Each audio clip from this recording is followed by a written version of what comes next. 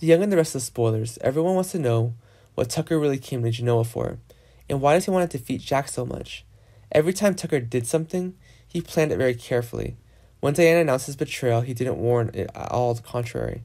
Tucker was actually stronger than ever. Diane told Jack all of Tucker's bad intentions, but he still didn't believe him. He still gave Diane a scornful, suspicious look because she had to let him down so much. There are still many issues to clear up, and Kyle no longer wants to see his mother, but he needs to meet in order for everything to go according to plan. He tells Jack that they must go and must trust Diane for once, if she's honest and loyal, and to give her a chance to be corrected and human. What is Tucker's new plan? Does he have any intention of defeating Jack and Abbott again? Now, the first thing he needs to do is to find more allies and make plans together. His strength is still too weak and can't complete with anyone. Ashley will help Tucker do it, if she only understands what his true desires are. What Abby was most worried about finally came to light her mother being lured by Tucker and becoming his slave.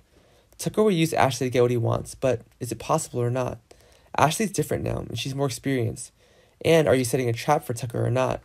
Abby tells Diane that she needs a bodyguard to protect her and Dominic constantly, fearing that she won't be safe because Tucker keeps an eye on her son.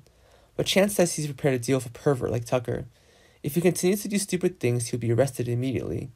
Chance always wanted a good reason to arrest Tucker, but he couldn't find one, and that's why you need to calm down, seduce, and put him in a trap, and Dominic is his target.